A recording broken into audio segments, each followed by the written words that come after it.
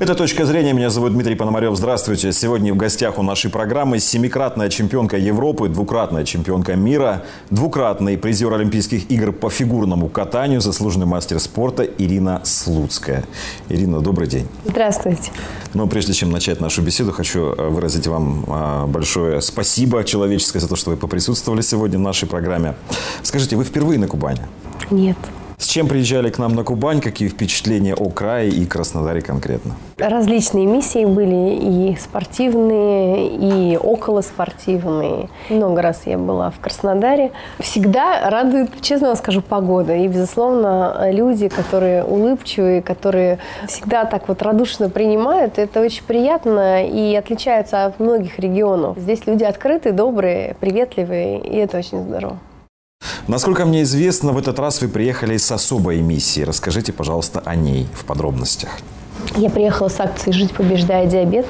Эта акция направлена на а, профилактику осложнений для людей, которые страдают именно этим заболеванием.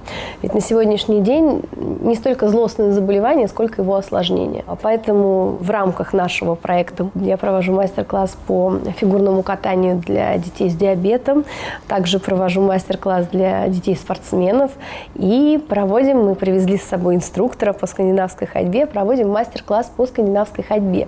Именно этот вид деятельности, да, активной деятельности, а, рекомендован людям с диабетом, потому что у него фактически нет противопоказаний, а, очень хорошая доступность, потому что нужна просто спортивная экипировка, палки, Потом у скандинавской ходьбы очень много плюсов. И это и, опять-таки, опора на четыре конечности. Это и, так как все же пожилые люди, да, и в сахар, с сахарным диабетом люди очень часто обладают излишним весом.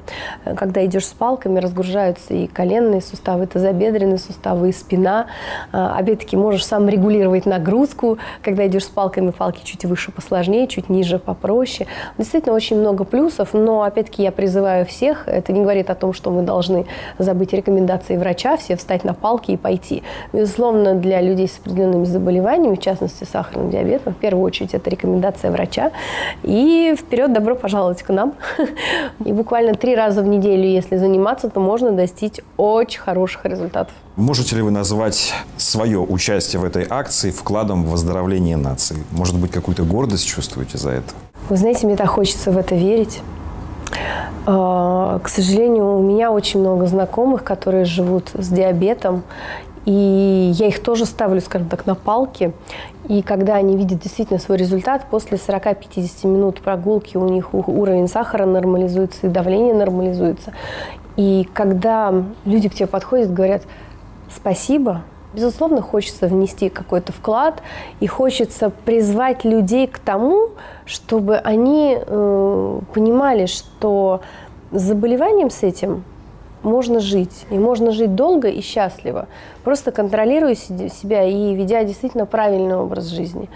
Если у меня получится какой-то часть нашего населения показать, что это возможно, и люди попробуют и примут это, потому что это действительно не слова – это действительно имеет место быть.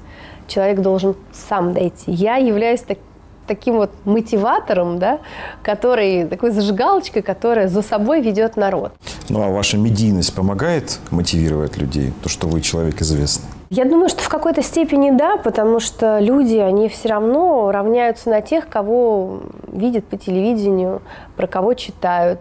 А, и мы, наверное, именно те, кто и должен идти впереди колонны, да, и не просто кричать, да, и говорить, что «О, сделай так, все будет хорошо», а делать и показывать, и доказывать. То есть наше здоровье в какой-то степени, оно в наших руках и в руках наших врачей. Спасибо вам огромное за беседу. Желаю удачи в вашей акции акции и чтобы как можно больше людей присоединялись к ней и становились здоровей благодаря вам. Спасибо большое. pleasure.